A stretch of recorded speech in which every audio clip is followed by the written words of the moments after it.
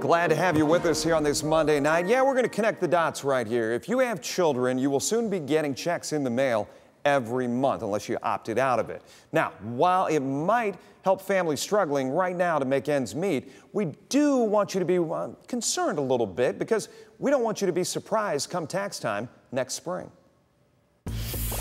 Child tax credit checks start going out July 15th. And while a lot of parents may be excited for a couple hundred dollars a month, some families might actually want to opt out. Let's connect the dots.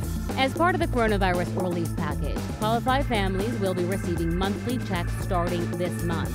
How much you get depends on how many children you have, their ages, and your income. To qualify, joint filers have to make less than $150,000 and single filers less than $75,000. For children under the age of 6, the monthly payment is $300. For kids between 6 and 17, the amount is 250. So why wouldn't you want the money? Tax experts warn this is not a stimulus payment. It's basically an advance on the increased child tax credit you can claim on your 2021 taxes.